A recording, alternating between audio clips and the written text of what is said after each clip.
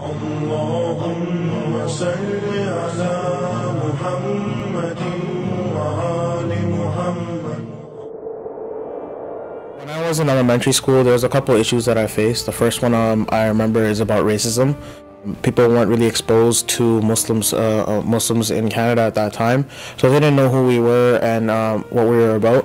Um, I didn't really get much uh, as opposed to my sister who got a lot because uh, she was visibly uh, like because of her hijab like people could tell that she was Muslim. Um, the other thing that we did notice was that because of the fact that uh, that there was around 30 students uh, per classroom um, to one teacher, uh, it became extremely hard for the teacher to make sure that everyone was learning according to their learning needs.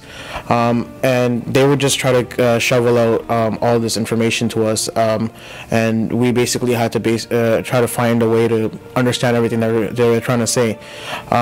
It was extremely hard for us because you put up your hand there's not enough time for the teacher to actually go over and understand what we're trying to say or trying to understand our questions just because of that fact because they didn't have the, the time to actually go through this. My sister is currently in um, Haadi Elementary right now. She's in grade two.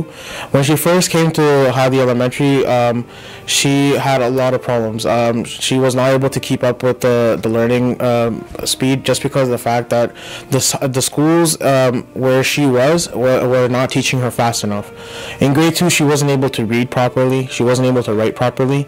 Um, we were extremely worried about her because we didn't know what was happening because the school system has dumbified itself quite a bit, and now people don't understand how to read and write in grade two. That's really scary for me. Um, when she came to Haadi, it took her three months of uh, a lot of work from her. When she got to that level, we see a big improvement. She's sitting there reading things that we never saw her read before.